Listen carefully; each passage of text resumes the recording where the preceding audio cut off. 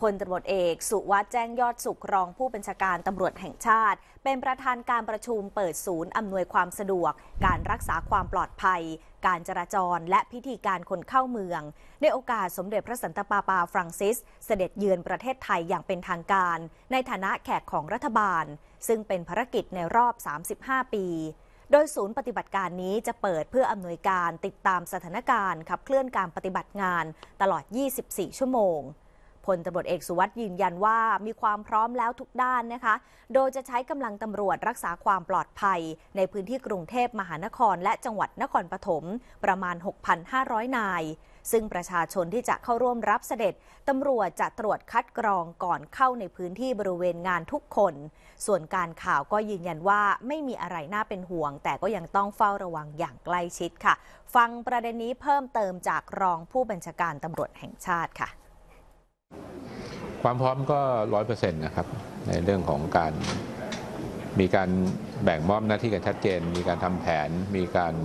จัดวางกำลังแล้วก็ซักซ้อมนะครับ วันนี้ก็เป็นวันที่เราเปิดกองในการร่วมนะครับ ก็จะลงกันในรายละเอียดอีกครั้งหนึ่งนะครับ ก็จะมีการทบทวนการปฏิบัติกันทุกวัน ด้านพลตำรวจตรีจิรสันแก้วแสงเอก รองผู้บัญชาการตำรวจนครบาลเปิดเผยว่า จะมีการปิดการจราจร 2 ช่วงนะคะ ก็คือช่วงที่สมเด็จพระสันตะปาปาฟรังซิส เสด็จเยือนประเทศไทย และเสด็จกลับในวันที่ 20 โดยวันที่ 20 ค่ะ ช่วงเวลา 12 นาฬิกา 30 นาทีถึง 13 นาฬิกา และวันที่เสด็จกลับ 23 พฤศจิกายนก็จะปิด 8 นาฬิกา 30 นาทีถึง 9 นาฬิกา จะใช้เส้นทางกองบินบน 6 ดอนเมือง ทางด่วนโทเวดอนเมือง ทางด่วนดินแดง ทางด่วนพระราม 4 ถนนพระราม 4 และถนนสาทร ส่วนช่วงที่2นะคะก็คือระหว่างวันที่ 21 ถึง 22 พฤศจิกายน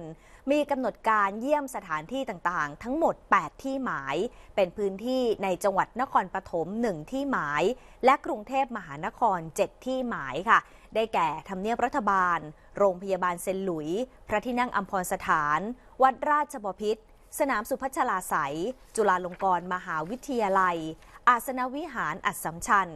ซึ่งเส้นทางส่วนใหญ่จะอยู่ในพื้นที่ใจกลางเมือง ก็ขอความร่วมมือประชาชนหลีกเลี่ยงเส้นทางถนนพระรามหนึ่งพญาไทและบรรทัดทอง ในช่วงเวลาดังกล่าวนะคะ ซึ่งเป็นถนนโดยรอบสนามกีฬาแห่งชาติ ที่จะมีประชาชนกว่า 50,000 คนเข้าร่วมรับเสด็จ พร้อมขอความร่วมมือให้ประชาชนเดินทางด้วยระบบขนส่งสาธารณะค่ะ